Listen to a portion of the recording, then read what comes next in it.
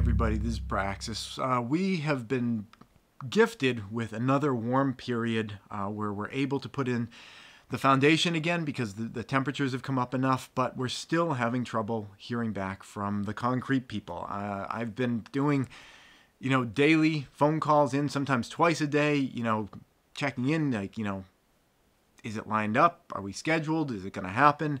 And we're missing yet another warm period. It's really frustrating. Uh, it's been going on for a while, but um, I'm hesitant to just uh, jump to somebody else, you know, because it's like, you know, you get the devil you know. At least, you know, this other person, we're, we've already be, been in their queue for a while. Uh, you know, maybe they're going to show up, but it's just, it's really frustrating when there's a lack of communication. Um, not necessarily even a lack of communication, a lack of accurate communication because literally they said that they were going to show up just a couple days ago.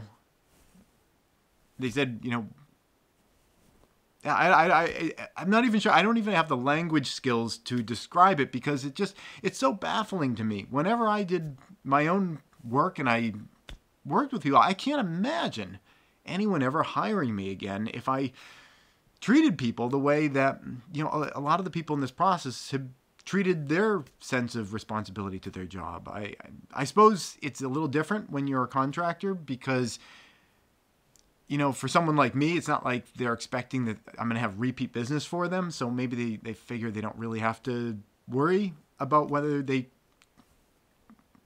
treat the situation with integrity and honesty and all those things that you're supposed to as a good person do anyway. but, uh, yeah, it's, it's, just, it's just really frustrating. And, um, I really want to get going and I don't want to lo- get locked out during mud season. So we're going to continue to hold and wait uh, and see if we can do it in this, this warm bump. But uh, I, the warm bump that we're in is only going to last a few more days. And if we don't get a footing in, kind of almost today or tomorrow, we're going to miss another another window. So that's it. I said the process was going to be frustrating, and it's living up to that expectation, living down to it. See you next time. Please subscribe and tune in every Friday at 4.30 New York time for a new video. And if you'd like to support this channel, you can do so both through Patreon or PayPal.